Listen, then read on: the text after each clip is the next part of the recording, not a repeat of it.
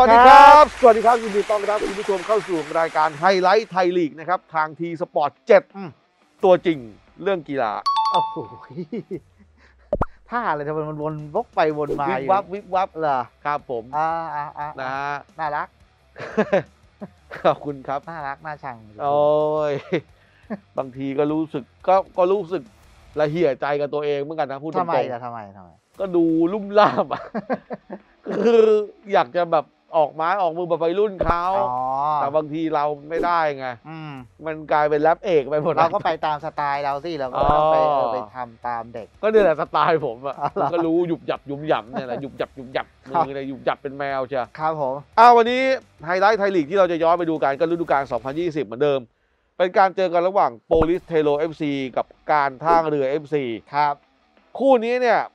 ถือว่าเป็นการเจอกันระหว่างเจ้าบุญทุ่มเก่ากับเจ้าบุญทุ่มใหม่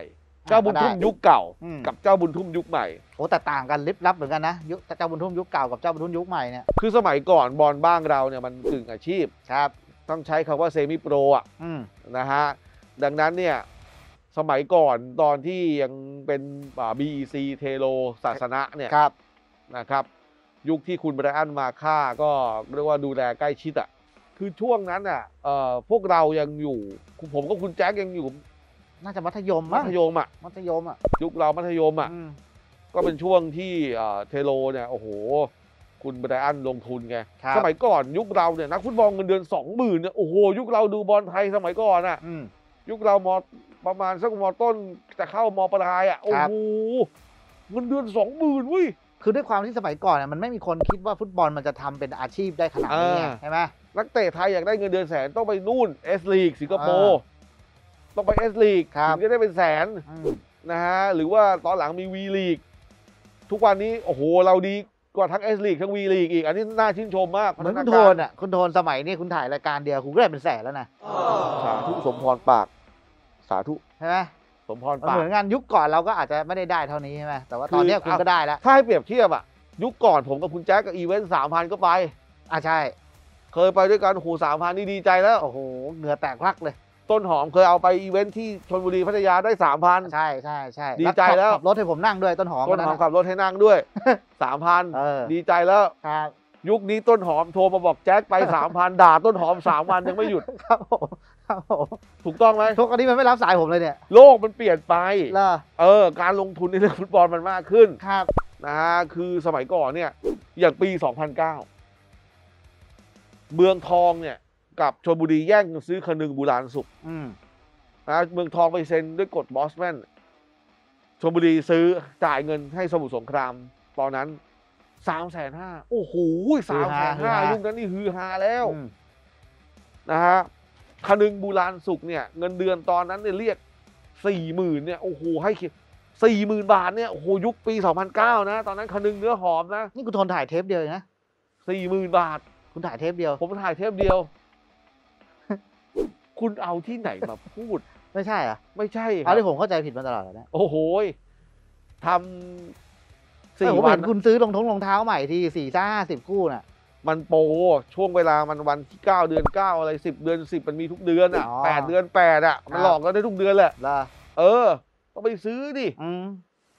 คือไม่ได้หรอก เพราะว่าอะไรเราต้องยกระดับตัวเองเหมือนทีมแบบการท่าเรือเอออะสมัยก่อนเขาอาจจะเป็นทีมที่ไม่มีไม่มี ครับ พอเริ่มเรียกว่ามีแฟนเยอะเอ้ยมาดามแป้งเข้ามาก็ต้องยกระดับตัวเองทุกอย่างต้องดูดี อืมไม่งั้นอะอะมันเพื่อนมันทำรายการกับเรา มันก็มาว่าเราแต่งตัวเชย แต่งตัวเป็นลุง เดี๋ยวนี่ตกลงจะพูดถึงท่าเรือ หรือพูดถึงตัวเอง หรืออะไรยังไงเนี่ยงงคหมวดบแล้วได้นะไหมล่ะ เหรอ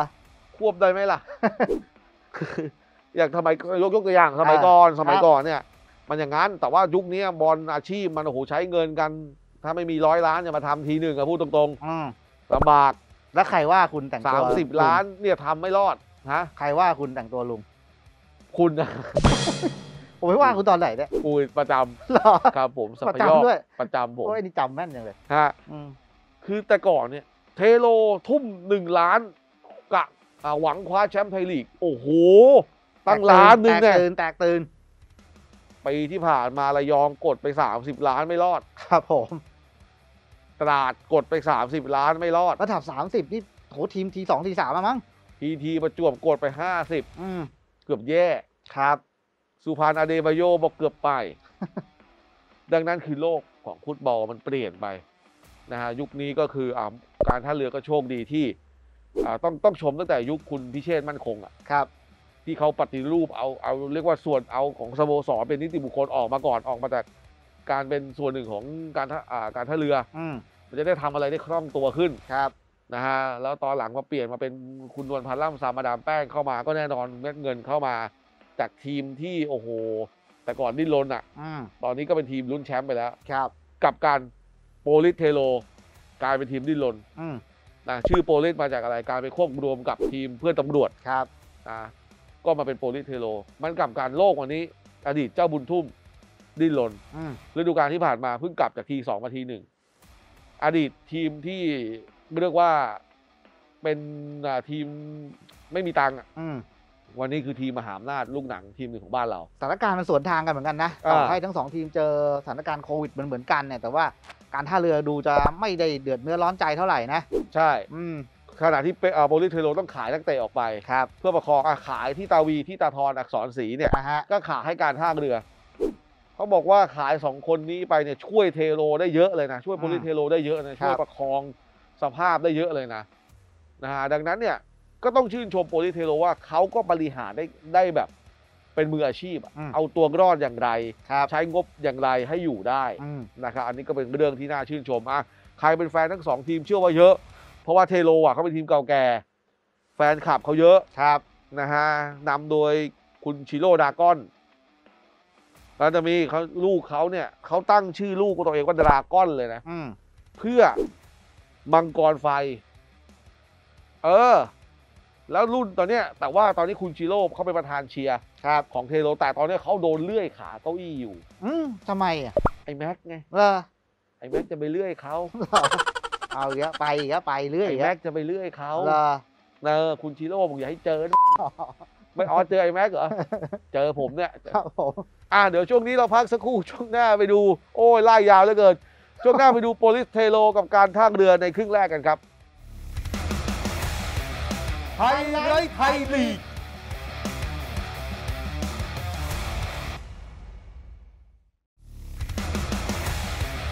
ไฮไลท์ Thai League กลับมาติดตามรายการไฮไลท์ Thai League กันต่อครับทาง T Sports เจ็ดตัวจริงเรื่องกีฬา ครับเกมที่เราจะชมกันในครึ่งแรก เป็นการเจอกันระหว่างโปลิศเทโร FC กับการท่าเรือ FC ถ้าใครจำกันได้ เกมนี้เล็กแรก อืมบ้านท่าเรือไฟดับ นั่นไงท่าเรือโดนปรับแพ้ ครับ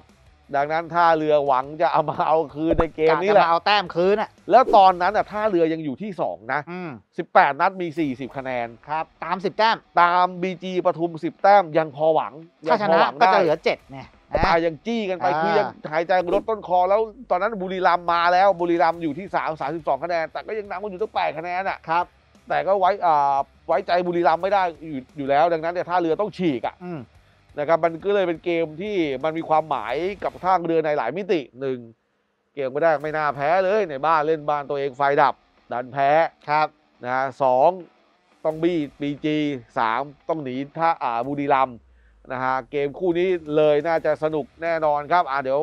เดี๋ยวเราไปชมการแข่งขันคู่นี้ในครึ่งแรกกันเลยครับ สวัสดีครับ ไฮไลท์ Thai League ครับ วันนี้เรามาดูเกมที่สนามกีฬาบุณยะจินดาครับโปลิศเทโรเจอกับการท่าเรือก่อนเกมนี้เทโรอยู่อันดับ 11 ครับ ส่วนการท่าเรืออยู่อันดับ 2 ตามหลัง BG อยู่ 10 คะแนนนะครับ เกมนี้เป็นการแข่งขันในเลกที่ 2 นะครับ ถ้าใครจำกันได้เลกแรกเนี่ยท่าเรือเล่นในบ้าน แล้วก็มีเหตุการณ์ไฟดับทำให้ท่าเรือถูกปรับแพ้ไป 2 ต่อ0นะครับวันนี้กลับมาเลกที่ 2 เล่นกันที่สนามบุณยะจินดารังเหย้าของมังกรโล่เงินกันบ้างครับนักเตะ ตัวหลักๆของเทโรก็อยู่กันครบเลยครับนำโดยนักเตะอย่างดราแกนบอสโควิชแล้วก็ธีรเทพวิโนทัยนะครับ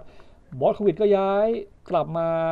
เรียกว่าย้ายมาอยู่โปลิศเทโรเนี่ยแล้วก็วันนี้กลับมาเจอทีมเก่าของเขาด้วยเพราะว่าเขาเคยอยู่กับการท่าเรือนะครับ ส่วนการท่าเรือครับกองหน้าคนใหม่ในปีที่แล้วเนี่ยอย่างยานิกโบลี่ก็ลงสนามเป็นตัวจริงเล่นคู่กับเนลสันโบนิญานะครับแล้วก็อดิศักดิ์ไกรษรนะครับ นี่เป็นเกมในฤดูกาล2020 นะครับ เราย้อนกลับไปดูกับ ไฮไลท์มันๆแบบนี้เหมือนกันนะครับ ดูกันว่าคู่นี้จะออกมาเป็นอย่างไร เป็นการเจอกันของ 2 ทีมที่ได้ชื่อว่าเป็นทีมเก่าทีมแก่ทั้งคู่เลยครับโบริเทโรเองก็มาจากสโมสร BC เทโรศาสนะนะครับ จับมือเป็นพันธมิตรกับสโมสรตำรวจ จนเปลี่ยนชื่อมาเป็นโบริเทโรครับ ส่วน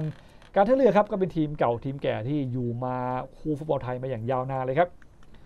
โค้ชอ้นรังสรรค์วันนี้เจองานหนักเพราะว่าเจอกับรองจ่าฝูงด้วยแล้วสถานการณ์ตอนนั้นเนี่ย ต้องบอกว่าทีมก็กำลังอยู่ในช่วงลุ้นเรียกว่าท้ายตารางด้วยนะครับ ส่วนคนนี้ครับโค้ชอูสราวุตีพันธ์ครับ ปีนี้ถูกขยับขึ้นไปเป็นประธานเทคนิคแล้ว แต่ว่าฤดูกาลที่แล้วครับได้โอกาสเข้ามาคุมทีม แล้วก็มีช่วงผลงานที่ดีเลยครับชนะรวดติดต่อกัน 8-9 เกมนะก่อนที่จะมีผลงานแกว่งๆไปบ้าง แต่วันนี้เนี่ยการบุกมาเจอเทโร ก็ถือว่าเป็นงานที่ไม่ยากไม่ง่ายเลยครับ ถือว่าสนุกเลยทีเดียวครับ วันนี้ก็มีการตัดสินมีการใช้ VAR มาช่วยอยู่อยู่แล้วทุกแมตช์อยู่แล้วนะครับ เดี๋ยวเราดูว่าเกมนี้จะออกมาเป็นอย่างไรครับ มาดูรายชื่อตัวสำรองกันหน่อยที่พอจะเปลี่ยนเกมได้ฝั่งเทโรมีปฐมพลเจริญธนาพิรมครับแล้วก็กีรติเขียวสมบัตินะเป็นกองหน้าอดีตทีมชาติไทยตัวเก่าเลยครับส่วนฝั่งการท่าเรือมีบรินพาราครับปีกที่ปกติแล้วเป็นตัวจริงวันนี้มีชื่อเป็นตัวสำรองนะครับ เกมกำลังจะเริ่มครับ เริ่มเกมครับเทโรบุกจากซ้ายไปขวามาในชุดแดงดำครับส่วนท่าเรือบุกจากขวาไปซ้ายครับทีมท่าเรือมาในชุดแสดน้ำเงินครับชุดประจำทีมเลยครับ วันนั้นเนี่ยไม่อนุญาตให้แฟนบอลเข้าชมนะครับทำให้สนามก็ดูโล่งไปเลยครับ แต่ว่าเพื่อความปลอดภัยครับในมาตรการของการจัดการเชื้อไวรัสของสบคแล้วก็ไม่ให้แฟนบอลเข้าชมในช่วงนั้นนะครับบอลยกขึ้นมาของเทโรเปิดมาเอเลียส เอเลียสจับบอลไม่ดีแล้ว ยังบังได้เป็นธนบูรณ์ครับ เบียดต่อมาให้มาร์ตินสตูเบิลเตะทิ้งไปก่อนเลยครับโอ้โหเทโรทักทายมาเกือบจะได้ครับ บอลของโปลิศเทโรสันติธรสันติธรวางมาขวาสุดก็ยังมงทิ้งไปก่อนสตูเบิลแถว 2 เก็บได้อีกทีบอลลูกนี้ไม่มีอะไรแล้วครับ เทโรมาใหม่ครับ เฉลิมศักดิ์อักขีมาทางซ้าย ควอนแดฮี ควอนแดฮีโยนโด่งโด่งมาแล้วโอ้โหจะให้กับธีรเทพแต่ว่ายังอยู่ที่วรวุฒิครับวรวุฒิศรีสุภาครับ อดีตนี่คือวรวุฒิแก้วผูกนะครับเป็นอดีตนักเตะของเทโรเหมือนกันนะฮะแต่ว่าเปลี่ยนนามสกุลแล้วก็ย้ายไปอยู่การท่าเรือโชว์ฟอร์มได้ดีเลยครับ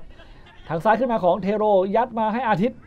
อาทิตย์นี่เด็กเก่าท่าเรือนะครับอาทิตย์บุจินดาอาทิตย์ซ้ายมาเปิดยัดฉลับแล้วเตะทิ้งไปก่อนครับ ธนบูรณ์ครับยังสกัดไว้ได้ นี่ก็อดีตเด็กเก่าเทโรเหมือนกันครับ มีอดีตนักเตะเรียกว่าสลับฝั่งกันหลายหลายคนส่วนคนนี้ก็อดีตนักเตะท่าเรือครับอาทิตย์บุญจินดา ทางซ้ายบอลของเทโรตั้งป้อมแล้วเปิดโด่งโด่งมาชูลาป้ามงแม่โอกาสทักทายครั้งแรกของติอาโก้ชูลาปาไปตรงตัววรวุฒิแหละครับ ได้โหม่งคนเดียวในดูดูดูอีกทีครับ สัญชัยเปิดมาแล้วชูลป้าตัดหน้ามาโหม่งลูกเนี้ยบอลมันตรงตัววรวุฒิครับ บอลของท่าเรือบ้างนิติพล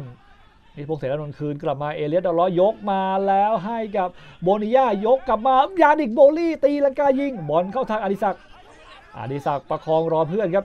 หาจังหวะอยู่เจอเอกชัยมาประกบเปลี่ยนต้องคืนมาก่อนให้มาตินซูเบิลถือว่าก่อนให้อดิศักดิ์อีกทีหนึ่งเขี่ยมาแล้วธีรเทพโหม่งทิ้งเข้าทางมาตินซูเบิล มาตินซูเบิลดึงจังหวะแล้วกลับไปตั้งกันใหม่ครับธนบุญศิวกรศิวกรเปลี่ยนเลยยกมาโอ้โหลูกนี้จะให้กับโบนิญ่าแต่ว่าบอลไม่ตรงเพื่อนเลยครับ ออกหลังไปเองศิวกรจะขู่ประสาทครับท่าเรือบุกใหม่ทางขวายานิกโบลี่ ย้อนกลับมานิติพงศ์เล่นกับโบลี่ครับ โบลี่ให้มานิติพงศ์เสรานนท์นุ่งโดนล้วงแบบนี้ไม่ฟาวล์ด้วยสันติธรไปแยกมาได้ แล้วดูเกมสวนของโปลิศเทโรชูลาปาชูลาปาให้มามาพื้นที่มีอาแล้วครับบอลของโปลิศเทโรขึ้นมาที่อาทิตย์บุญจินดา อาทิตย์กระชากขึ้นมาอาทิตย์หาจังหวะปาดกลับมาดาแกนบอลโควิดเข้ามาใส่ด้วยขวาแล้วก็โอ้โหหนึ่งศูนย์เลยครับดาแกนบอลโควิดครับโอ้โหลูกนี้ครับยิงทีมเก่าแล้วให้โปลิเทโรขึ้นนำไปแล้วกับ1ต่อ0จากดราแกนบอสโควิดครับ อ้ลูกนี้ยิงสวยจริงๆ ต้องดู เรียกว่าเป็นการประสานงานกันของ 2 อดีตนักเตะท่าเรือครับ อาทิตย์บุจินดาจ่ายให้ดาแกนครับโอ้โหลูกนี้ยิงดีมากครับ ยิงทีมเก่าอย่างสวยเลยดาแกนดูอีกทีครับ อาทิตย์จ่ายย้อนกลับมาแล้วบอลเนี่ยมาตรงนั้นพอดีแล้วดูดาแกนวิ่งมาไม่ต้องจับสับด้วยขวาครับโอ้โหเสียบเสาเข้าไปเลยครับจ่ายตัดหลังมาแล้ววิ่งมาใส่ลูกนี้แล้วสวยจริง ๆ ครับดักแกนบอสโควิดครับ อัดด้วยขวาลูกนี้ครับโอ้โหยิงเฉียบคมมากครับดรากันแล้วยิงทีมเก่าด้วยครับ เลกที่ 2 ของฤดูกาลที่แล้วเนี่ยย้ายมาแล้วกับตำแหน่งใหม่นะครับ ลงมาเล่นเป็นมิดฟิลด์เป็นเพลย์เมกเกอร์แล้วโอ้ทำผลงานได้ดีนะครับวันนี้ก็ยิงประตูนาทีที่ 9 ต้นเกมเลยครับให้เทโรออกนำท่าเรือไปก่อน 1-0เลยครับบอลยาวมาให้อดิศักดิ์เกี่ยวไม่ติดกับท่าเรือ มาใหม่ครับธนบุญทางซ้ายที่ซูเบิล ซูเบิลแตะเข้าขวาซูเบิลได้หยอดลูกนี้แล้วก็โหม่งเสยกลับมาแล้วประสิทธิ์โอ้โหบินปัดชนคานบอลตกแล้วก็ออกหลังครับปูใต้เตะมุมครับประสิทธิ์ยังไวครับบอลจะเสียบคานอยู่แล้วประสิทธิ์ยังบินไปปัดแล้วปัดจังหวะแรกเนี่ยปัดไม่ออกด้วยนะครับ โชคดีบอลชนคานแล้วเด้งออกครับ ดูทีครับหยอดมาแล้วโอ้คนโหม่งอะเป็นเฉลิมศักดิ์โหม่งโอ้โหบอลมันจะเสียบใต้คานเข้าประตูตัวเองอยู่แล้วครับ อ้ประสิทธิ์เนี่ยสุดปลายมือแล้วปัดลูกเนี่ยบอลชนคานเด้งออกหลังครับถือว่ายังรอดไปเกือบโดนตีเสมอครับเทโรแต่มุมเปิดมามงทิ้งมาก่อนแล้วชูลป้าบอกเพื่อนปล่อยครับชูลป้าอูเลี้ยงแหวกไปเองแต่ว่าโอ้โหแตะบอลยาวเหลือเกินครับนิติพงศ์เก็บได้มาใหม่ครับศิวกรออกมาทางขวาจังหวะนี้พื้นที่มีแตะเข้าซ้ายเล่นกับศิวกรศิวกรมาคนเดียวแล้วโดนยัดมาลูกนี้เข้าทางซ้ายอดิศักดิ์ยิงติดบล็อกครับ ท่าเรือบุกกันต่อครับมาที่ซัวเรสเซร์คิโอซัวเรสเห็นขวาสุดเปิดมาโหม่งชงเข้าแล้วจังหวะนี้จับโอ้โหจับไม่ดี แล้วเข้าทางฮอนนี่เตะทิ้งมาก่อน แล้วลูกนี้ผู้ตัดสินบอกว่าล้ำหน้าไปก่อนครับโอ้โหว่าศิวกรจับบอลแรกมันห่างตัวไปนิดนึงครับไม่งั้นได้ยิงแล้วฮะแต่ว่าบอลก็ล้ำหน้าไปก่อนอยู่ดีครับดูทีครับจังหวะมงนี่แหละครับ จังหวะมงชงเนี่ยเป็น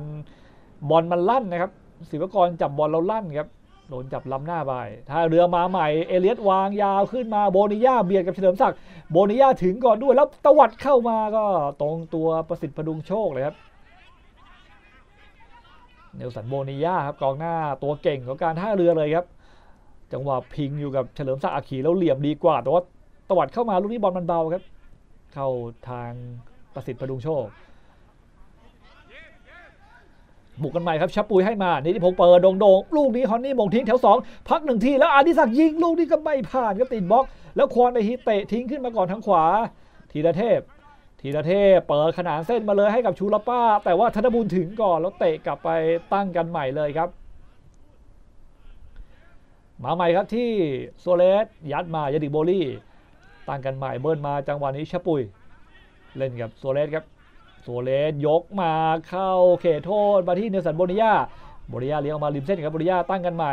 โบนิยาย้อนกลับมาจังหวะนี้อู้จับบอลห่างตัวผู้สินให้เล่นต่อครับโซเลสโซเลสหาช่องขวามีเลือกกลับมานิติพงศ์เปิดลูกนี้โด่งๆมาแล้วก็เข้ามือประสิทธิ์ผดุงโชคครับ เป้าหมายอยู่ที่ยานิกโบลี่แหละครับ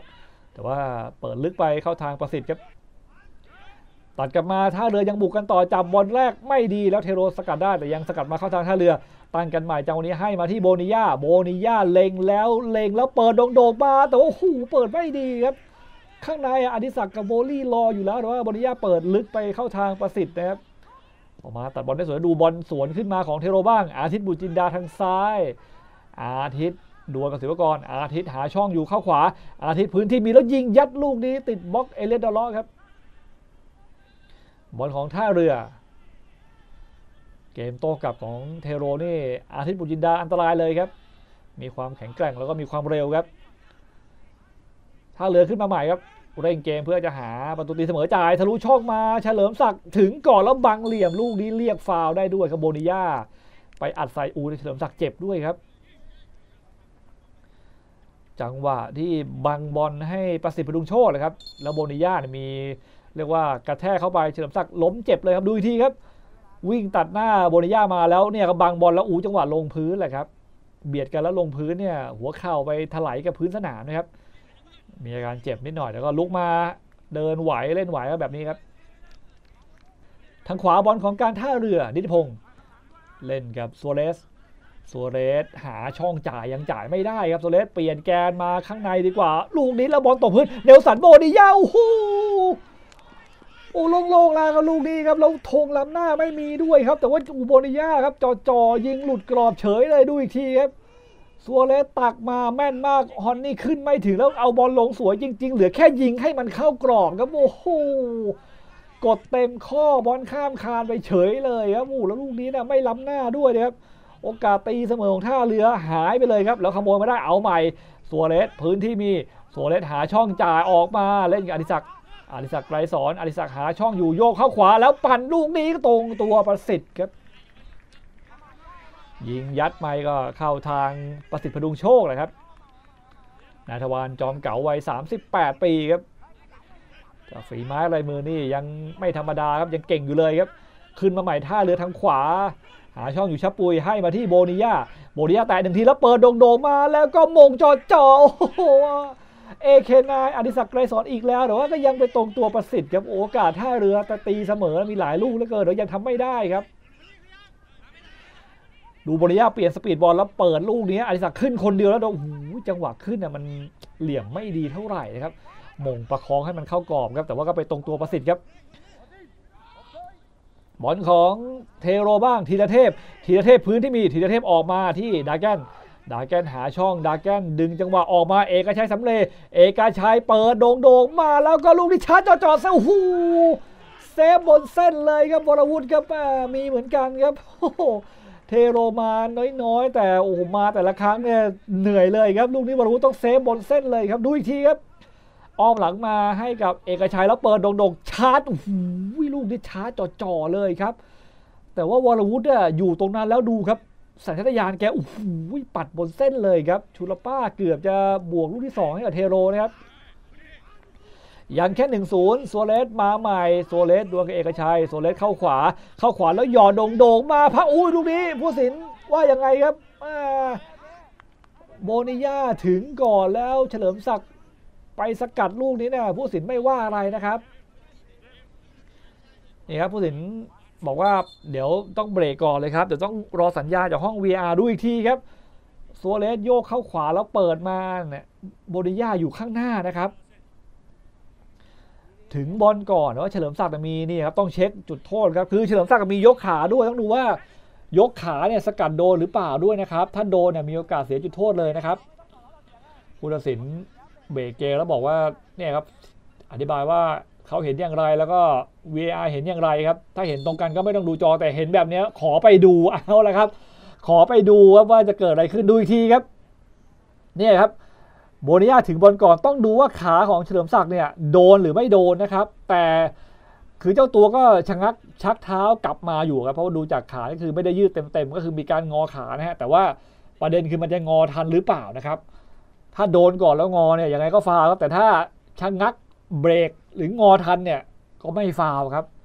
เนี่ยเราต้องดูภาพช้าว่าขาของเฉลิมศักดิ์เนี่ยมันนี่แหละครับว่ามันยั้งทันหรือเปล่านะครับเพราะเจ้าตัวเนี่ยยั้งแน่นอนครับ ยั้งขาไว้แล้วนะครับ แต่ว่ายั้งทันหรือเปล่าครับผู้สินกำลังดูตรงนี้อยู่นะครับ แต่ถึงบอลเนี่ยเป็นโบนิยาถึงบอลก่อนนะครับแล้วก็เหลี่ยมบอลอยู่ข้างหน้าด้วยนะฮะนี่ครับต้องดูว่าได้ไม่ได้นะครับ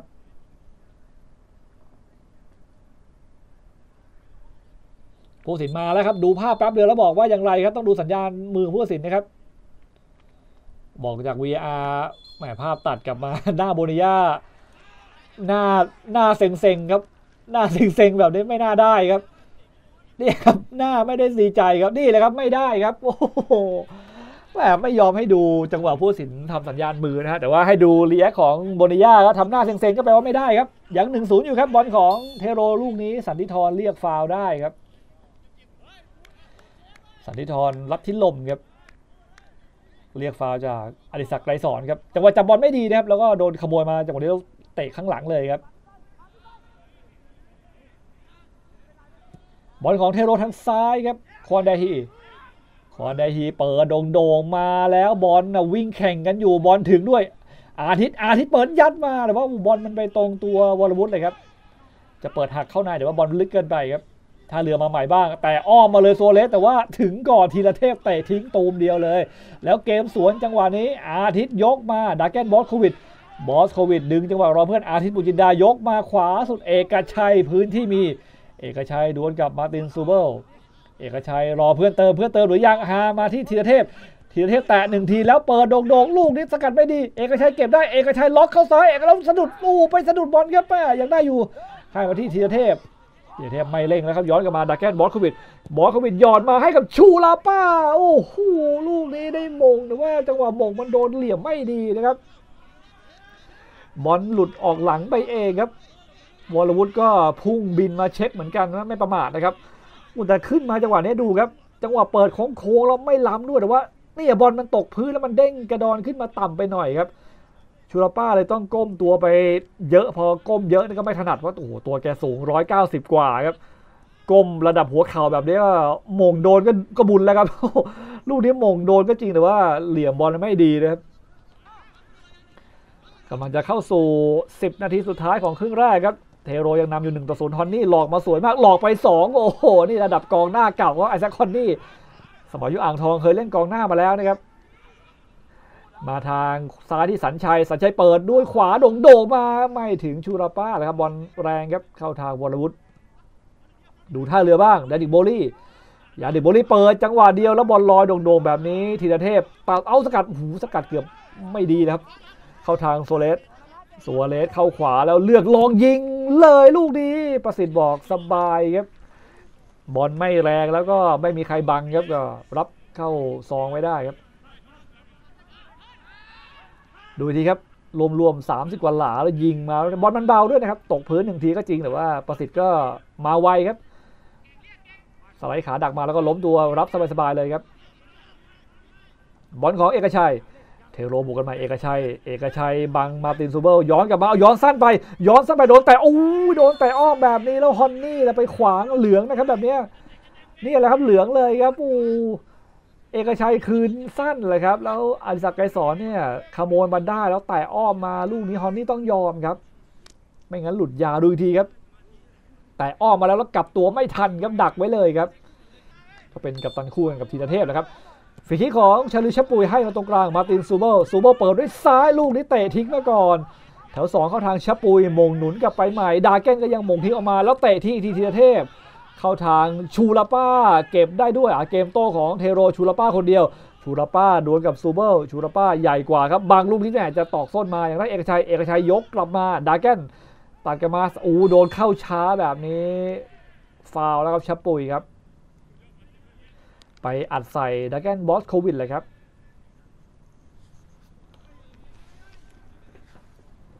เนี่ยดูอีกทีครับ ถึงก่อนแล้วบอสโควิดแล้ว จังหวะแรกอะเป็นซูเบิลสกัดเอกชัยมาแล้วนี่ครับจังหวะ2อะบอสโควิถึงก่อนชับปุยเบรกไม่ทันนะครับ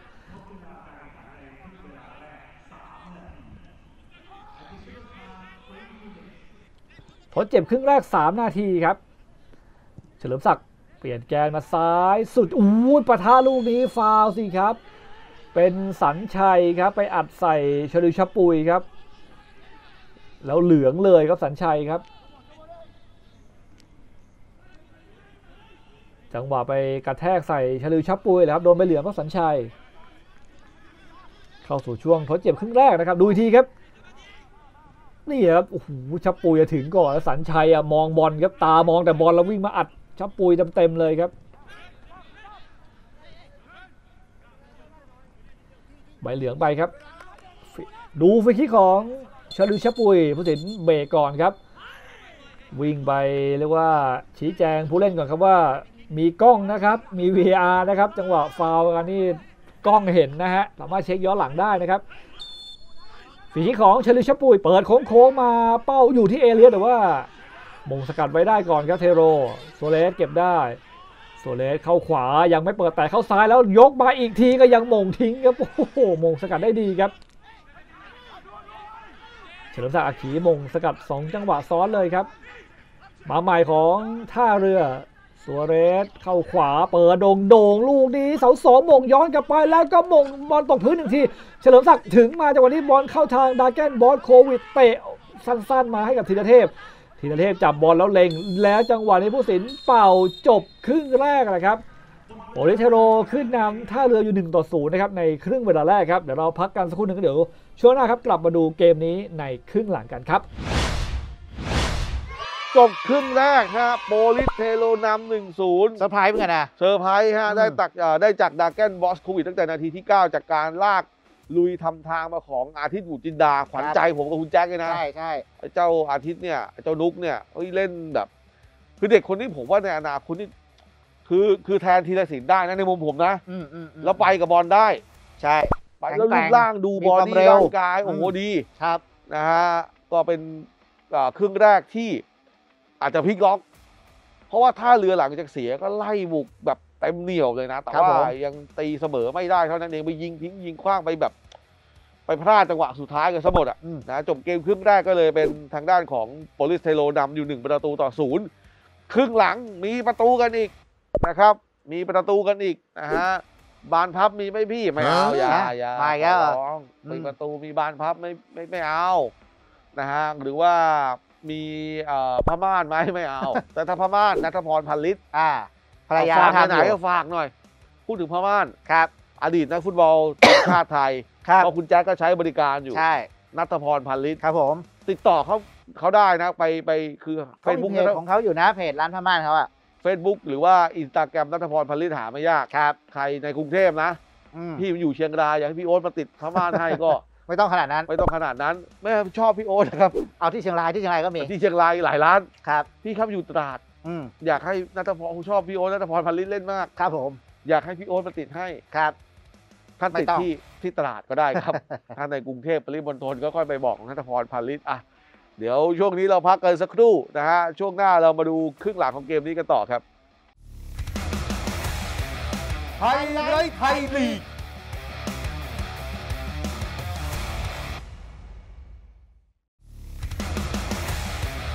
ไฮไลท์ไทยลีก กลับมาติดตามรายการไฮไลท์ไทยลีกกันต่อนะครับเกมที่เราพาย้อนหลังไปชมนัดนี้เป็นนัดที่ 19 ของฤดูกาลครับ 13 กุมภาพันธ์ที่ผ่านมาอืมนะฮะครึ่งแรกโปลิศ เทโรนำทางด้านการท่าเรือ FC อยู่ 1 ประตูต่อศูนย์จากดราแกนบอสโควิชครับนะเดี๋ยวครึ่งหลังครับมาดูกันว่าการท่าเรือจะเอาประตูคืนได้หรือไม่ จะล้างแค้นจากที่นัดแรกแพ้คาบ้านเพราะไฟดับ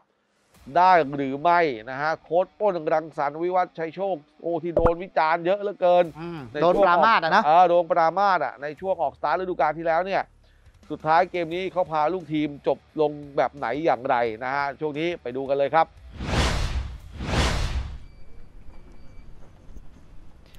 กลับเข้าสู่ไฮไลท์ไทยลีกครับ เราย้อนกลับไปดูเกมในฤดูกาล 2020 นะครับ การท่าเรือวันนี้บุกมาเจอกับโปลิศ เทโรที่สนามกีฬาบุณยะจินดาครับ ครึ่งแรกเทโรเจ้าบ้านนำอยู่ 1-0 ครึ่งหลัง ท่าเรือเปลี่ยนเอา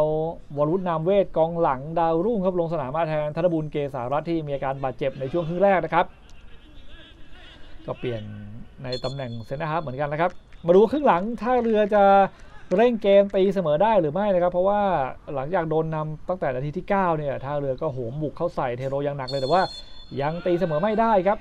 ส่วนเทโรเองก็มาในแท็กติกตั้งรับ แล้วก็รอโต้กลับแล้วก็เกือบจะหนีเป็น 2-0 เช่นกัน แต่ว่าก็ยังไม่ผ่านมือวรวุฒิศรีสุภานะครับ ดูครึ่งหลังเริ่มมาบอลของเทโรตัดได้สันติธรมาที่ธีรเทพธีรเทพ จังหวะนี้ยกมาเปิดโด่งๆขึ้นมาแล้วก็เอาบอลลงได้ จังหวะนี้เตะทิ้งขึ้นมาก่อนเลยครับ ให้มาพื้นที่มีบอลของอาทิตย์บุญจินดาเก็บได้อาทิตย์มาคนเดียวอาทิตย์เข้าขวา ยกกลับมาให้สันชัยเปิดลูกนี้โด่งๆแล้วก็ชูลาป้าถึงบอลก่อนด้วยแต่ว่าข้ามคานครับแล้วจังหวะนี้มีไปอัดกับวรวุฒิด้วยนะครับอู้แต่ว่าอู้จะเจ็บเลยครับวรวุฒิเออวรวุฒิศรีสุภานะครับ โดนกระแทกไปที่ศีรษะดูอีกทีครับ เปิดโด่งๆขึ้นมาแล้วนี่แหละครับโอ้โหคือถึงบอลก่อนนะครับชูลาป้าถึงบอลก่อน แต่ว่าวรวุฒิออกมาแล้วนี่ครับโดนท่อนแขนของชูลาป้ากระแทกไปบริเวณศีรษะครับ เจ็บเลยครับจังหวะนี้ครับวรวุฒิศรีสุภาบอลของท่าเรือ ยาดิกโบลี่ ให้มาโบนิยาเล่นกับโบลี่ซ้ายมีขออยู่อาริสักไกลสอนเข้าขวาดึงจังหวะหาช่องย้อนกลับมาแถว 2 ยิงเลยลูกนี้ฉลับล้วโอ้โหฉลับออกหลังครับ จังหวะยิงยัดของชลิวชับปุย เปิดมาท่าเรือก็บุกแหลกเหมือนเดิมครับ ต้องการประตูตีเสมอครับจังหวะนี้ยิงของชับปุยบอลฉลับแนวรับของเทโรนะครับออกหลังไป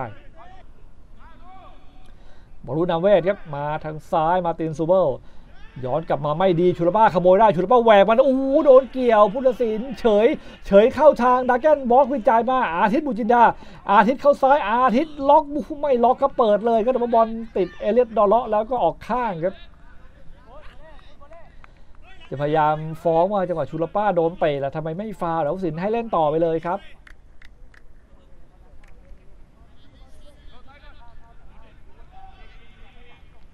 โรก็ยังรักษาสกอร์ได้แล้วก็มาตั้งรับแล้วก็รอจังหวะโต้กลับอยู่ครับจังหวะนี้ฟรีคิกของโปลิศ เทโรครับ เอกชัยสำเร็จเอกชัยกำลังจะเปิดดึงจังหวะอยู่ครับเอกชัยฮอนนี่ก็ขึ้นมาลุ้นด้วยครับลูกอากาศครับเซนเตอร์ฮาล์ฟรวมถึงติอาโก้ชูลาป้าครับลูกร่างสูงใหญ่ครับ เอกชัยสำเรเปิดโด่งๆมาแล้วโหม่งได้ลูกนี้ฟู ฟูซุปเปอร์เซฟเลยครับ ควอนไดเฮียสะบัดกับหลังลูกเนี้ยบอลตกแล้ววรวุฒิปัดออกหลังไว้ก่อนก็เกือบจะ2อศูนย์ยังไม่ได้ครับโอ้ควอนไดเฮียครับ คนโหม่งว่าสวยแล้วดูครับหันหลังโหม่ง แต่ว่าคนเซฟมาสวยกว่าครับโอ้โหมาทันเฉยเลยดูทีครับ บอลจะเบียดเสาเข้าอยู่แล้วครับวรวุฒิพุ่งปัดมือเดียวออกหลังไปก่อนครับแต่โหม่งเปิดโด่งๆขึ้นมาชูลาป้าโหม่งอีกทีครับโอ้โห ติดเซฟวรวุฒิอีกแล้วครับเซฟสองจังหวะเลยครับโอ้โหเทโรยังสองไม่ได้ครับโอ้โหลูกอากาศของติอาโก้ชูลาป้าอันตรายจริงดูอีกทีครับ ระยะโหม่งอะประมาณ 8 หลา 9 หลาดูดูครับโอ้โห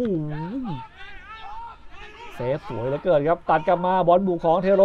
สันติธรสันติธรยกเข้าเขตโทษ ลูกนี้แย่งกันโหม่ง บอลมงจ่อยๆลูกนี้ก็หูยมงตกพื้นด้วยชุลป้าแต่ว่าบอลมันเบาครับ บอลวุฒรับได้แล้วก็หัวตูมเดียวทิ้งขึ้นมาก่อนเลยครับข้างหน้าท่าเรือมาใหม่บ้างทางซ้ายโยนโด่งๆขึ้นมา บอลมงทิ้งมาก่อนธีรเทพ อาทิตย์จับบอลห่างตัวเข้าทางโบนิยาโบนิยาเข้าขวายิงลูกนี้ก็โอ้โหหลุดกรอบไปไกลเลยนะครับเดลสันโบนิยาครับ แล้วมาแล้วครับทีเด็ดของท่าเรือครับบรินผาลาครับ แล้วก็การนรินครับ ลงมาครับ ชับปุยออกครับแล้วเป็นการนรินเข้าครับส่วนบรินผาลาครับก็ลงสนามมาแทนอดิศักดิ์ไกรสอนแล้วครับ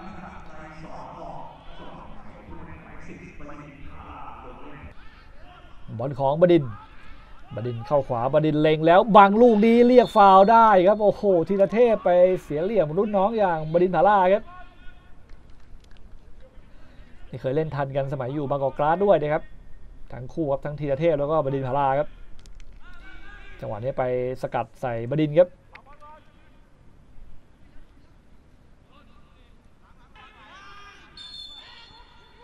ฟรีคิกของบดินหยอดเข้ามาลูกนี้มงเสยกับหลังโอ้โหฮอนนี่โหม่งสกัดนะครับ โหม่งสกัดออกหลังเป็นเตะมุมของการท่าเรือเลยครับจังหวะซูเบิลนะครับมาตินซูเบิลเปิดมาแล้วฮอนนี่โหม่งกลับหลังครับลูกนี้ สกัดออกหลังไปเตะมุมของท่าเรือเปิดมาเสาแรกโหม่งทิ้งแถว 2 ยิงสวนก็ไม่ผ่านสันติธรจะฟ้องแฮนด์บอลฟ้องผู้ตัดสินไม่ว่าอะไรเปิดโด่งๆยกกลับมาอีกทีหนึ่งบอลตกพื้นหนึ่งทีอาทิตย์ถึงก่อน อาทิตย์หัวทิ้งขึ้นมาข้างหน้าเอกชัยมี เอกชัยเล่นกับดราแกนบอสโควิชบอสโควิชช่องมีบอสโควิชโดนหลุมสองจ่ายยัดกลับมาไม่ถึงเอกชัยเข้าทางท่าเรือมาใหม่โบริยาให้มาที่มาร์ตินสตูเบิลสตูเบิลเล่นกับซัวเรซครับนิติพงษ์ ยกกลับมาให้กับมาร์ตินสตูเบิลตั้งกันใหม่ที่การนาริน มีบดินทร์ผาลาประคองครับให้มาบดินทร์ บดินทร์เข้าขวาแล้วเปลี่ยนมาลูกนี้ก็ไม่ดีครับเข้าทางสัญชัยมงกลับมาซัวเรซถึงก่อนแต่ว่าธีรเทพยังขยันครับตามมากระโดดสกัดไว้ได้นิติพงษ์ออกมาทางขวาให้กับศิวกรจักขุประสาทศิวกรเปิดโดงโดงลูกนี้ลึกออกหลังไปเองแหละครับโอ้แต่ว่าจังหวะยิงไกลอะจะฟ้องแฮนด์บอลนะครับศิวกรนะครับ แต่ว่าไม่มีอะไรครับ ดูฟรีคิกของท่าเรือ บดินทร์ลองยิงลูกนี้โอ้โดนปลายมือนะครับ ประสิทธิ์บินปัดออกหลังไว้ก่อนนะครับโอ้นี่ฟรีคิกอันตรายจริงครับบดินทร์ผาลาครับ ปีที่แล้วเนี่ยยิงฟรีคิกสวยๆหลายลูกดูลูกนี้ครับ30กว่าหลาปั่นโค้งๆแล้วโอ้โหคือบอลวิถีบอลเนี่ยเหมือนจะตกข้ามคานอยู่แล้วแต่ว่าประสิทธิ์ก็ต้องบินเซฟเลยครับ เพื่อความชัวร์ครับ ปัดออกหลังไปก่อนครับ แต่มุมของบดินทร์เปิดกลับมาประสิทธิ์ชกทิ้งมาก่อน แถว 2 ไม่มีอะไรครับบอลของเทโรบ้าง ประสิทธิ์เปิดยาวขึ้นมามงเสยกลับมาให้ชูราป้าเตียโกชูอูโดนเข้าข้างหลังแบบนี้บรุนามเวทฟาวสิครับ ไปอัดใส่เตียโกชูราป้าเลยครับจับบอลได้นะครับ แล้วก็บังบอลลูกนี้โดนแซะจากด้านหลังครับ เสียฟาวไปครับการท่าเรือ รูปร่างสูงใหญ่แล้วมีความคล่องตัวด้วยครับติอาโกชูลาปาครับ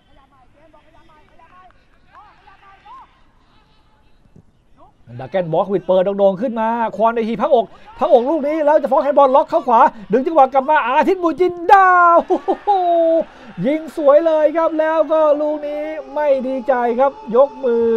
ขอบคุณแฟนเทโร แล้วก็ยกมือไหว้ขอโทษแฟนๆท่าเรือครับยิงทีมเก่าเขาครับ2ต่อ0ให้กับโปลิสเทโรขึ้นนำการท่าเรือครับ โอ้โหลูกนี้ต้องชมควอนไดฮีครับขึ้นมาเล่นลูกกาอากาศ แล้วก็บังบอลจนสุดท้ายเนี่ยจ่ายกลับมาให้อาทิตย์วิ่งมาใส่ด้วยขวาเสียบเสาเข้าไปเลยครับ 2 ต่อ 0 ของเทโรดูทีครับควอนไดฮีเนี่ยบังจนได้เหลี่ยมแล้วเข้าทางอาทิตย์วิ่งมายัดลูกนี้สวยมากครับ เอเลียนเดลอสสกัดออกมาแล้วอาทิตย์วิ่งมายัดลูกยิงแรงเต็มข้อแล้วบอลมันตรงนั้นเนี่ยเบียดเสาเข้าไปเลยดูครับ ยิงแรงเต็มข้อแล้วดูหูคือต้องบอกว่ายิงเบียดเสาจริง ๆ ครับ แล้วเนี่ยยกเจ้าตัวยกมือขอโทษแฟนๆท่าเรือครับ ยิงทีมเก่าแต่ว่านี่ได้เฮครับโค้ดอ้นก็เฮสะใจเลยครับ รูปเกมมาเป็นรองแต่ว่าสกอร์2ต่อ0ขึ้นนำแหละครับ อาทิตย์บุตรจินดาครับ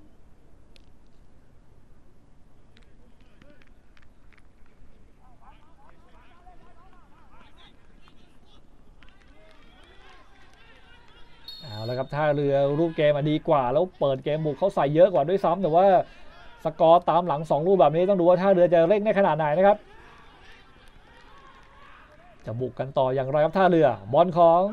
ท่าเรือขึ้นมาทางซ้ายครับบดินทร์มาที่มาร์ตินสตูเบิลสตูเบิลเปิดโด่งๆลูกนี้ ลึกมาเข้าทางนิติพงษ์ นิติพงษ์เสลานนท์เล็งเล็งแล้วเปิดโด่งๆก็มาปัดทิ้งมาก่อน แถว 2 เป็นของดราแกนบอสโควิชเก็บได้จับบอลห่างตัวบดินทร์เข้าขวาบดินทร์แตะมาหาพื้นที่โดนล็อกโอ้โห แบบนี้ฟาวสิครับ บอสโควิดแหมตบมือด้วยความผิดหวังเสียดายนะครับ ไปเข้าช้านะครับเสียฟาวกับบดินแล้วเป็นฟรีคิกระยะอันตรายด้วยครับหรือตัดสินใจไปเล่นยากนะครับไปแตะบอลเล่นเองสุดท้ายแตะบอลยาวโดนบดินฉกได้แล้วเนี่ยนะครับต้องตัดสินใจเลาะข้อเท้าเพื่อตัดฟาวเลยครับ แต่ดูจังหวะเปิดกลับมาเนี่ยจังหวะแรกเป็นประสิทธิ์ปัดออกมาแล้วเนี่ยครับบล็อกไปถึงบอลก่อนด้วยนะครับ แต่ว่าไปแตะยาวไปเองครับ เหลี่ยมนี้ฟรีคิกของบดินผาลายิงลูกนี้บอลข้ามกำแพงแล้วแต่ว่าเบาแล้วก็ไปตรงตัวประสิทธิ์เลยครับ ไม่ห่างเท่าไหร่ครับ ล้มตะคุบไปได้ครับคืออ่านอยู่แล้วว่ามามุมนี้แน่ครับประสิทธิ์ครับก็เรียกว่าพุ่งมาดักรอเลยครับ เอาแล้วเข้าไปแล้วลูกนี้ทีละเทพแต่ว่าโดนจับฟาวไปก่อนครับแม่ตัดกลับมาในบอลตรงตะข่ายนะครับ ดูอีกทีครับอู้แล้วไปมีดึงก่อนครับ ไปดึงวรุณนาเวทก่อนนะครับ เลยไม่ได้ไปครับบอลของท่าเรือสัวเรปาดกลับมาเตะทิ้งไปก่อนครับไอ้ละคอนนี่ยังสกัดได้สวยมาใหม่ที่บดิน บดินเล็งแล้วเปิดยัดขึ้นมาเสาแรกโอ้โหประสิทธิ์ยังอยู่ตรงนั้นครับสกัดออกมาก่อนบดินเอาใหม่เข้าขวาบดินดึงจังหวะ ยังไม่เปิดหาเหลี่ยมเข้าซ้าย แล้วเปิดด้วยซ้ายลูกนี้ดีต่ออีกทีประสิทธิ์บอกสบายครับ กระโดดรับเข้ามือครับลงสนามมาแทนศิวกรถ้าเรือบุกกันใหม่ครับสิบนาทีสุดท้ายแล้วของเกมนี้เปิดมาติดสันติธรสันติธรเล่นทางขวาเอกชัย เอกชัยจ่ายยัดมาบอสโควิดแต่อ้อมลูกนี้เร็วกว่าบอสโควิดพื้นที่มีอะแล้วครับดูว่าเทโรขึ้นมาได้ลุ้นไหมดักเกนบอสโควิดดักเกนบอสโควิดดึงจังหวะแต่อ้อมมาดื้อเลยครับปุ่นบอสโควิดเร็วกว่าด้วยครับดักเกนบอสโควิดสุดเส้นหลังดักเกนลูกหูลูกนี้สุดท้ายต้องชมวอลลูที่ตามมาแก้ตัวได้ระเบียดดี แต่ว่าตายบอลออกมาไม่ดีเอกชัยเก็บได้ เอกชัยดึงจังหวะยกกลับมา หาเหลี่ยมเล่นกันมาเอกชัยจะแหวกไปเองโยกหลอกอยู่ครับ เล่นกับดักเกนบอสโควิด ยัดมาเอกชัย เอกชัยเข้าซ้าย เอกชัยเห็นแล้วยิงลูกนี้ตรงตัววรุษศรีสุภาครับ จังหวะขึ้นมาเองแล้วก็ขอลองหน่อยนะครับเทโรเปลี่ยนตัวบ้างครับ แบ็กซ้ายตัวเก่าอย่างนพพลปิตาฝ่าย แล้วก็กองกลางตัวตัดเกมครับสิทธิชงสนายครับ ลงสนามมาแทนสัญชัยนนทศิลา แล้วก็อาทิตย์บุตรจินดาเลยครับ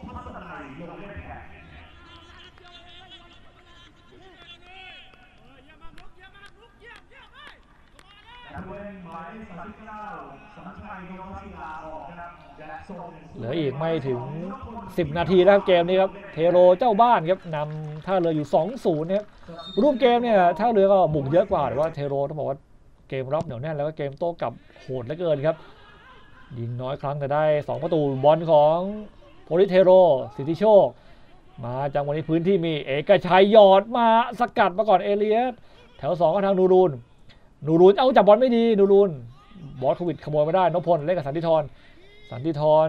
คล้องหนีดึงจังหวะสิทธิโชค สิทธิโชค หาช่องเล่นกับนพพลนพพลแหวกมาหนึ่งนพพลเหลี่ยมดีกว่าบอสโควิดให้มาที่สายทองมาที่นพพลนพพลปิดตาฝ่ายเปิดโด่งๆลูกนี้โอ้โหยังมงสกัดได้วรุณาเวศเอเลียสเอ้าเกือบโดนฉกครับแล้วลูกนี้ผู้สินจับฟาวไปก่อนนะฮะ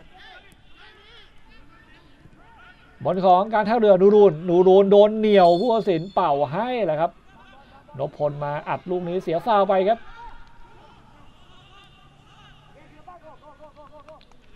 จังหวะนูรูนถึงบอลก่อนแล้วจ่ายบอลแล้วโดนเข้าช้าเลยครับนูรูนท่าเรือเปิดโด่งๆขึ้นมาประสิทธิ์ชกมือเดียวออกมาก่อนครับ ฝั่งซ้ายเทโรถึงบอลก่อนทีละเทพครับ โตกลับขึ้นมา เทโร วางยาวมาเป้าอยู่เหลี่ยมนี้ เอกชัยสำเร็จดวลกับนูรูนเบียดแล้วโอ้โห โดนจับฟาครับ เอกชัยไปเบียดใส่นูรูนครับ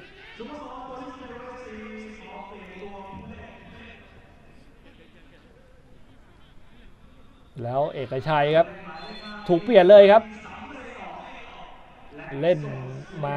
85 นาทีเอกชัยครับ แล้วก็เป็นโดมินิกตันครับ กองหลังดีกรีทีมชาติมาเลเซียลงสนามมาแทนนะครับในมุมของท่าเรือโดมินิกตันบังบอลสุดท้ายบอลโดนตัวเองออกนะครับ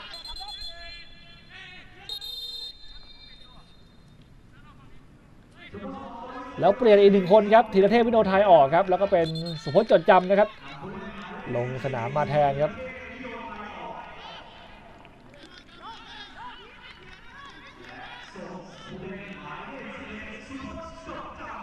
ช่วงท้ายก็เปลี่ยนเพื่อดึงเวลาด้วยแล้วก็เปลี่ยนเอาตัวที่มีความเร็วลงมาเล่นเกมโต้กลับด้วยนะครับ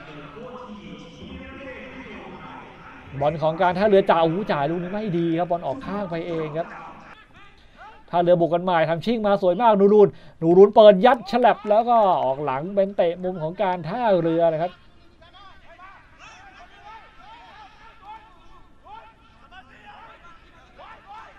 แบ็กซ้ายดาวรุ่งอย่างจตุรพัฒน์สัตย์ธรรมครับดีกีทีมชาติไทยชุดอยู่23นะครับเปิดยัดมาลูกนี้ก็ไม่มีอะไรครับบอลโดนท่าเรือออกไปทดเวลาในครึ่งหลัง 6 นาทีนะครับ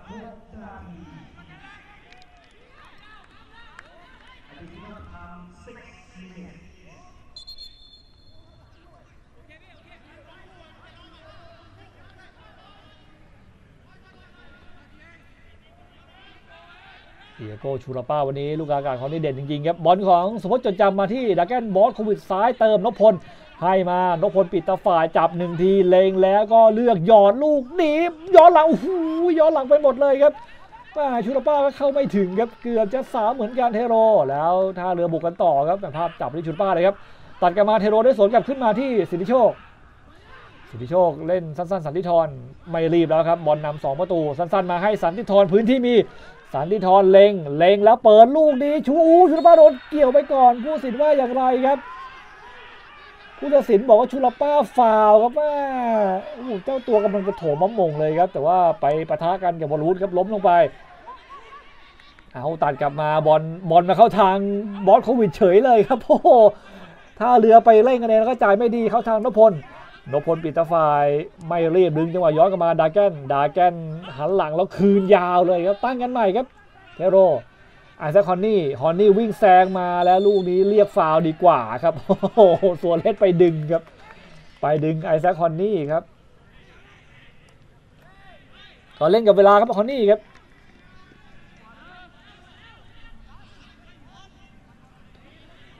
เวลาก็ลดลงไปทุกทีเลยครับ แล้วลูกนี้ท่าเรือไปเสียฟาวด้วยก็ยิ่งเสียเวลาไปอีกเลยครับหอนนี่กระชากมาแล้วเนี่ยครับโอ้โหโดนเหนียวด้วยครับ ก็โดนเหลืองไปครับโซเลสครับ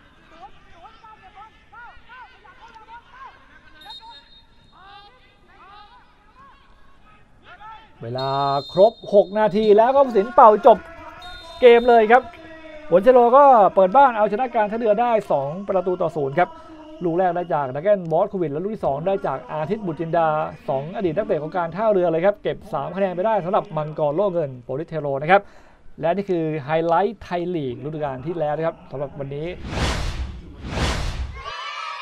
จบเกมก็เป็นทางด้านโปลิศเทโรนั้นชนะการท่าเรือไป 2 ประตูต่อศูนย์ประตูที่2นะฮะเป็นอาทิตย์บุตรจินดาครับนาทีที่ 68 เกมนี้1แอสซิสต์อืมหนึ่งประตูเด่นมาก เจ้านุ๊กครับผมอาทิตย์บุตรจินดา ก็เหมือนที่เราบอกว่าเป็นขวัญใจเราอยู่นะอ่าอืมแล้วก็เป็นการยิงทีมเก่าของทั้งสองคนนะดราแกนบอสโควิชอยู่เคยอยู่ท่าเรืออ่าใช่ อาทิตย์ก็เคยอยู่ท่าเรือก่อนมาอยู่กับเทโรเนี่ยครับผมนะฮะเป็นไงการ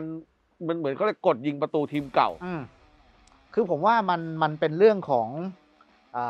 แรงบันดาลใจด้วยส่วนหนึ่งนะอ่าอาจจะต้องการพิสูจน์ตัวเองกับอืมสโมสรเก่า อาจจะด้วยเหตุผลการย้ายมาแต่ละคนมันก็คงแตกต่างกันนะ บางคนอาจจะถูกยกเลิกสัญญาหมดสัญญาหรืออะไรกันต่างๆนานาแต่ว่าผมว่าการที่กฎเนี่ยมันมีบ่อยๆอะมันน่าจะเป็นเพราะอยากพิสูจน์ตัวเองให้กับทีมเก่าได้เห็น หรืออาแฟนบอลหรืออะไรต่างๆนานามันครับก็เลยจะมีความมุ่งมั่นความตั้งใจเป็นพิเศษ อ่าเหมือนเราต้องทำตัวให้หล่อให้สวยให้แฟนเก่าเสียดายเออ อะไรประมาณนั้นนะนะเออบางทียิงได้บางคนก็ดีใจไว้เต็มที่บางคนก็ดีใจเต็มที่เอาแล้ว แต่อารมผณ์มว่าอันนี้มันเป็นสิทธิ์ส่วนบุคคลเป็นสิทธิส่วนบุคคลผมแล้วว่ากัเป็นนสิทธิ์ส่วนบุคคลนะ ส่วนเจ้านุกเขาก็เป็นเด็กที่เรียบร้อยอยู่แล้ว น่ารักไม่น่ารัก ค่อยเป็นไม่ได้ไปหวือหวาวูบวาบอะไร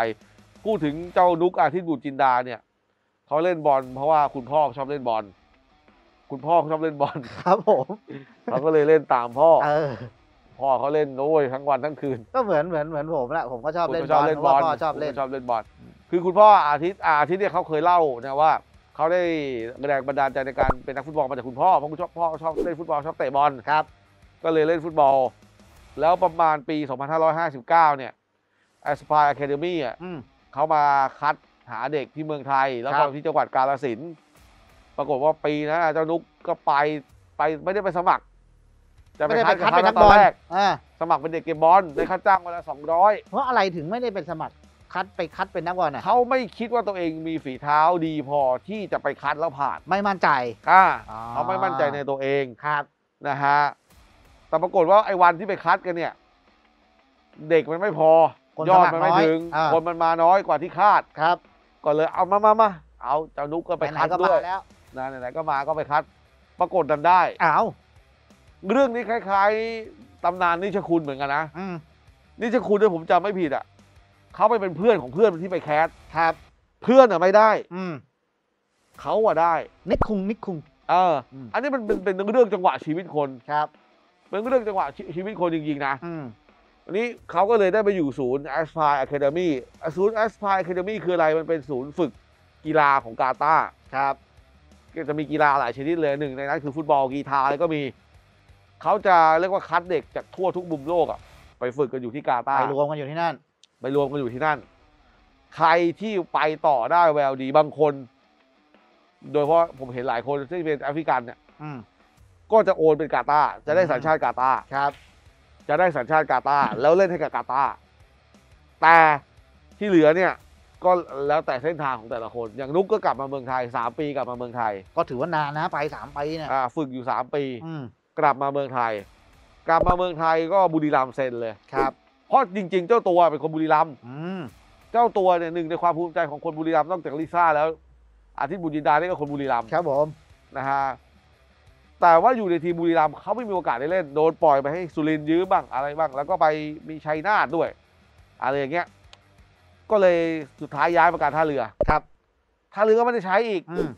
ก็ย้ายมาที่โปลิสเทโรแล้วมาได้เล่นจริง ๆ กับโปลิสเทโรอะก็เหมือนแจ้งเกิดที่นี่เลยนะ ก็มาแจ้งเกิดที่นี่เลยแล้วเล่นดีมากฤดูกาลอยู่กับเจ้าชายที่มังกรก็อย่างนี้แหละอะอยู่กับเหรออ๋อมีผลอยู่กับเจ้าชายมังกรช่วยยกระดับน้อง ถูก เหมือนโรนัลโดย้ายมาใช่ แมนยูแล้วไปช่วยยกระดับคนอื่นใช่ใช่ๆอ๋อที่อาทิตย์บุญจินดาเก่งขึ้นเพราะเพราะรีสอร์รีซอร์ธีรเทพวิโนไทยใช่ โอ้โหมันรีซอร์นี่เขาช่วยเหลืออะไรคุณมาเยอะเหมือนกันใช่ไหม คคุณก็น้องรักเป็นอ๋อน้องรักเหรอเออน้องรัโอ้กดูอวยน่าดูเลย ด่ามาหลายเทปแล้วไงออเพราะว่าแต่ถ้าโค้ดเนี่ยผมต้องโค้ดเตี้ยครับผมมาอีกแล้วเฟซบุ๊กล่าสุดสุดยอดเมื่เช้าครับสองสุดยอดครับ สุดยอดครับตกลงไม่ใช่บอทนะ ไม่ใช่บอทอ่าไม่ใช่บอทก็เห็นเขาพิมพ์คำอื่นได้อยู่เหมือนกันมีมีเช่น Happy Birthday ได้อยู่ Happy Birthday ได้ครับอ่าวันนั้นไอเนื้อย่างอะไรเนี่ยอ่าไม่ชวนอ๋อไม่ทีงี้ไม่ชวน อ่าแต่อย่างน้อยเราก็สบายใจ อ่าแต่ผมโทรหาแกแล้ว ครับ พี่ไม่ใช่บอทใช่ไหมครับที่มา ที่มาเม้นผมใน Facebook แกก็อยากมี connection เฉยๆก็อยากติดต่อสื่อสารทั่วแล้วไปที่น่ารักคือหลังจบเกมที่ ทีมแกนำสามศูนย์แล้วโดนตีเมืองทองตีเสมอสามสามอืมผมนึกว่าแกต้องเครียดอะครับ สองชั่วโมงหลังจากนั้น อ่ามาในเฟซผมฮะ เอาเหรอสุดยอดครับอ้าวครับผมแสดงว่าพี่สบายใจแล้ว อ่าอ่าพี่โอเค พี่จัดการเรื่องอารมณ์ได้ได้พี่สุดยอดครับ ครับผม อะวันนี้ เวลาของไฮไลท์ไทยลีกหมดลงแล้วครับ ขอบคุณทุกท่านสำหรับการติดตามรับชม พบกับรายการของเราได้ใหม่ในวันพรุ่งนี้ฮะวันนี้ผมและคุณแจ็คเล็ก แล้วก็ทีมงานทุกคนนะฮะลาไปก่อนครับพรุ่งนี้เจอกันใหม่สวัสดีครัสวัสบ ดีครับ